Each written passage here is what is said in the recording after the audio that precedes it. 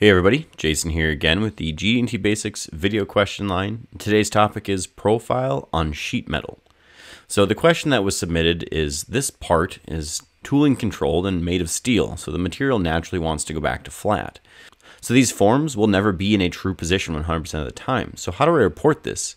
And is this a dimension the customer should be putting a tolerance on? I believe the reason for the box dimensions are that the height of these forms are fairly critical to their process. So let's take a look at this drawing submitted by the student here. And we can see the uh, face of three surfaces are establishing datum feature A. And we're controlling two other faces, specifically in this view at least, with profile of a surface of 0.05 with respect to datum A. And we can see we have two basic dimensions here, identified with the red X's next to them, telling us where those surfaces should be. So it's the classic case of the basic dimensions don't have tolerances because they tell us where the surface should be at ideally.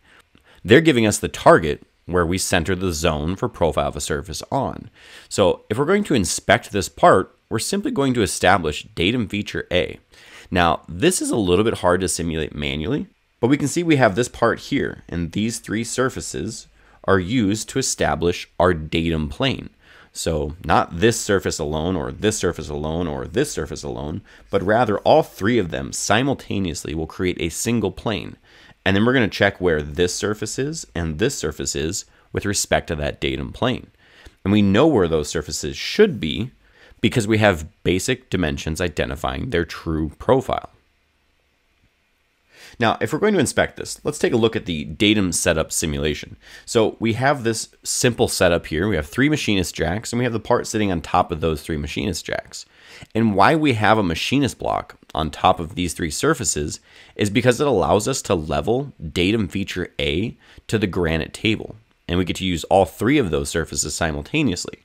So if we set this 246 block on top of those three surfaces, and then we level this top surface to be perfectly flat and parallel to the granite surface, which is our inspection plane, we know that when we set that up, the plane established by the three surfaces for our datum feature A is going to be parallel, and then we can zero our indicator right on that surface specifically. So now we have leveled this surface to the granite table. It's parallel to the granite table. We've zeroed our height gauge off on that plane. And now we can make sure that this surface and this surface are exactly where they need to be in 3D space. And that's establishing a zone that's 50 thou or 50 microns, if this is a metric drawing, uh, across in width. So our zone looks like this, 0.05 in width. Now, as long as any element on this surface or, or any element on this surface are within 0.25 plus or minus half this value or total zone of that value, this surface has met specification.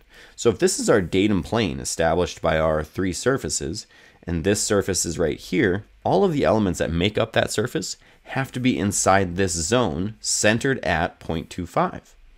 So it's essentially like saying 0.25 plus or minus 0.025, giving us a total zone of 50 thou or 50 microns. That means we are controlling both the form of that surface because all the elements need to be inside there. We're controlling the orientation of that surface because all of the elements need to be inside there. And we're also controlling clearly the location of that surface vertically up and down as well. And we're going to control all of those. And that's why profile of a surface is such a powerful control we can control location, orientation, and form as long as that entire surface is inside that tolerance zone. And that's true for both surfaces. That's just saying this bottom surface needs to be 0.75 plus or minus 0.04, since this is 80 microns, with respect to datum A, which is the plane established from those three surfaces. So again, to reiterate, how we inspect this is we're just making sure that all of the elements that make up these individual surfaces fit inside their respective tolerance zones of 0.05 and 0.08, centered at 0.25 and 0.75 respectively. So hopefully that helps answer your question. We are controlling the location, we are controlling the orientation, and we are controlling the form full knowing that those surfaces won't be perfectly located, they won't be perfectly oriented, and they won't have perfect form either.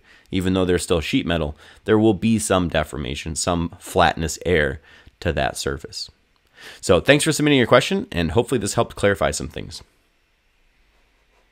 Our goal is to be your best source for GD&T information online. It's important to us that everyone involved in engineering and manufacturing have the chance to learn and better understand GD&T on your prints. We have many free resources to help you get started on your learning journey. Subscribe to our GD&T community using the link in the description below or visit our website. Test your knowledge with our GD&T and print reading quizzes. Download helpful charts and access articles